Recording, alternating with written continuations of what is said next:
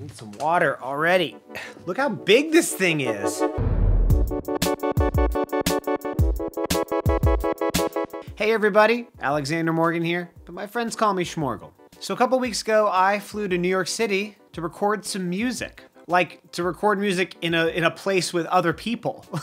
I know, I can't believe it either. The experience was honestly tremendous for the obvious reasons. I haven't traveled in over a year, so that alone was really nuts. What's more is I used to live in New York, and uh, I made a lot of music while I was living there. Seeing as things were beginning to open up again and I had a lot of miles backed up, I decided to pull the trigger and record some music in my favorite studio on this planet, Rift Studios.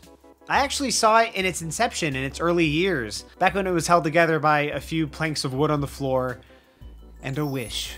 I remember my early 20s getting off my super long waiting gig and getting on the uh, the G train and taking it like 50 minutes out to the middle of nowhere Brooklyn. But this whole recent trip back was more than just nostalgia. I am recording a bunch of new music, like music beyond this EP I've been promising you now for months. This is like the next EP, the second EP.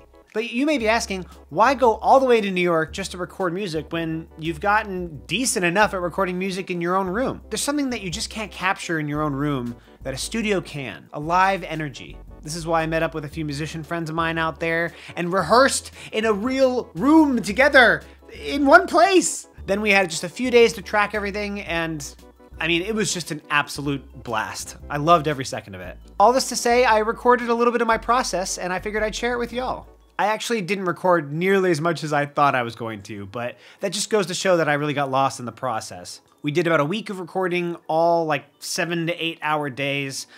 Again, I loved every second of it. And I figured for kind of educational purposes, but mostly just for people who are interested, I'd take you on a little bit of that journey, show you what it's like for a bedroom producer to record in a real studio with real people. I mean, this is a vlog. This is a vlog video. It's, it's a sort of vlog. TM, TM.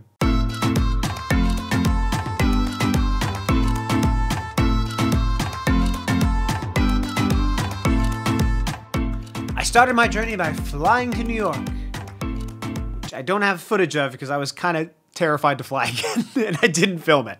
And just sticking to all the protocols and being safe, it didn't feel right to be like, yo, what's up, YouTube? I'm blah, blah. So at first I was just hanging with some people, catching up a bit. I went on that old run that I used to do in Central Park. Fun fact, it's the same run that I collected all those sounds for Falling Forward all those years ago. I hired my buddies Max Maples and Brian Percival, who are excellent, awesome musicians. They had the tracks in advance, so they were all prepared, and our job was to fill them out with some live energy. Here's a little bit of that process and some sneak peek into some of these newer songs.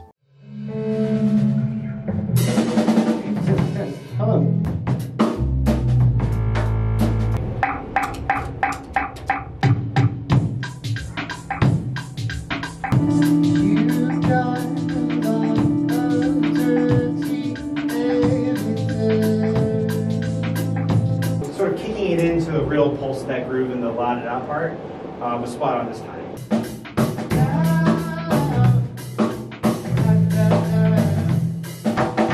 For some reason, I, something. I missed something. Yeah. I missed a little bit of live drums in that. You can pass it off as charming, but she's just a learning.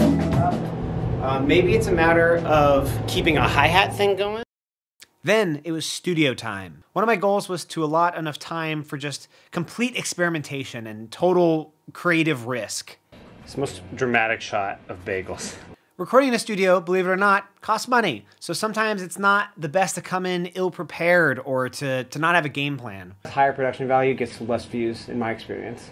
But I also find that when you regiment it too much, you can end up getting in your own way a little bit. So having a few hours to try some weird techniques uh, was really beneficial for me. This inevitably involved recording a lot to tape. The first few days were actually a lot of retracking and pumping a lot of these VSTs through a tape machine to give it a little bit more warmth and authenticity. That side won't do it.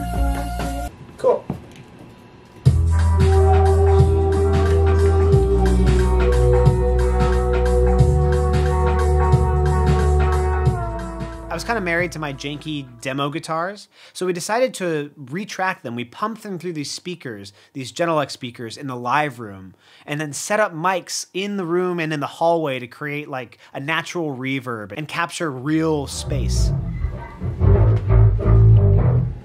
Snares are rattling. Oh my god, that's so funny. Finally, the boys came in and we got to work on the full band stuff. I wanted to live track drums and bass together so we had that more band like feel. Don't touch that. Okay. One of the biggest risks we took was kind of flipping the methodology of live tracking drums. Usually, you want them in a big room, usually called a live room, for that exact reason. You hear the bounce, the live drums in a, in a large space. We packed the drums in the tiniest isolation booth that we could. Look at those hot kicks, man. Look at that fi- those fire shoes. We then dialed in a really tight compression, so the drums felt really close. You could play quietly, but it would still feel impactful.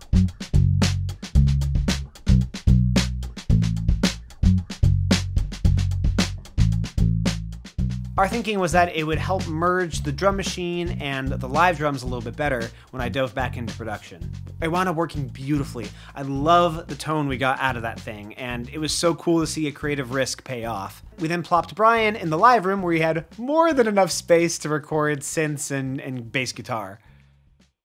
I finally sat down, stopped playing producer, and started playing guitar. Here we go. Oh my god! Oh yeah, it does that. Take one. Okay.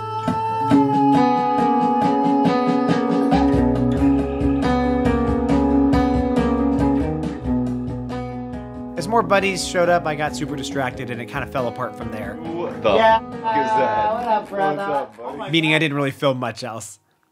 I really just wound up having so much fun and I didn't even think to record the process because I was just in the moment, man. A good problem to have ultimately. Anyway, I know this is not much, but hopefully it was interesting to see a little glimpse into my process when in a studio setting. In case you're interested, these songs probably won't see the light of day until the end of the year. I still gotta release the other batch of stuff first. I promise it's coming soon. I keep putting it off, but uh, legit any day now. I'm just really excited to share it, and I hope it's sooner than later. And just as a heads up, I will be taking next week off because it's my birthday.